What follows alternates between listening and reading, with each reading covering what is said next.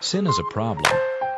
It all began in the Garden of Eden, where God had created man with all of the beauty around him, the loveliness of the garden, the quietness of the morning, the softness of the evening, the depth spirituality that he could experience walking beside God. And over and above that, God had also created for him companionship. God had given man all of that. Romance, love, beauty, the aesthetics, the splendor, and ultimately the very worship and the walking with God. And instead, man decided at this moment to reject him and decided instead of allowing God to be God, to become the God of God.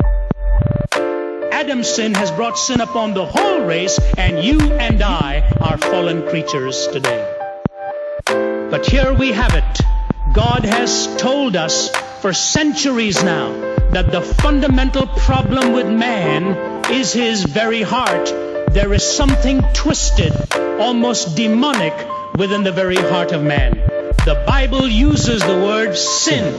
It makes it explicit that this is the heart of man, and implicit is that statement that the bent of man is towards evil and imagination.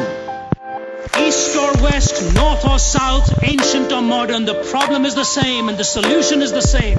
Once we understand the heinousness of sin, we'll gain a deep and lasting gratitude for God. Because when you enter into true worship and you gaze at Jesus